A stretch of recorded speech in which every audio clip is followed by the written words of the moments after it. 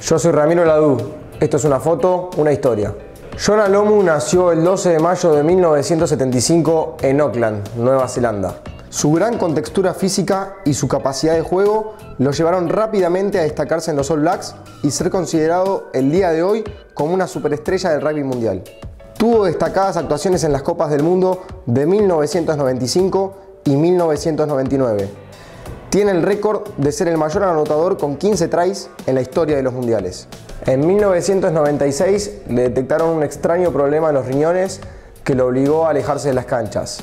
Sin embargo, un año más tarde volvería para participar de una gira con Nueva Zelanda. En 2002, Lomu tuvo que enfrentar el problema más grave de su carrera cuando le diagnosticaron el síndrome nefrótico, un problema en los riñones causado por una serie de enfermedades. El neozelandés se vio ante la obligación de abandonar las canchas sin saber cuándo volvería a jugar. En 2004 debió someterse a un trasplante de riñón. La recuperación fue larga y dolorosa, pero Lomu tenía claro su objetivo, entrar nuevamente a una cancha y ser importante para el equipo. En 2006, Lomu volvió con un distinto estado físico, pero con las mismas ganas de siempre.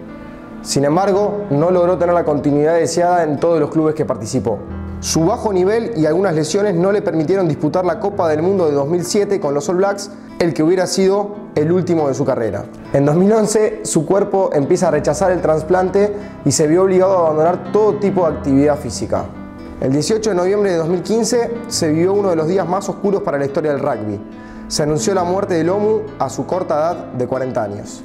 Jonah Lomu siempre será recordado como un ejemplo de lucha y superación en el deporte. Esto fue una foto, una historia.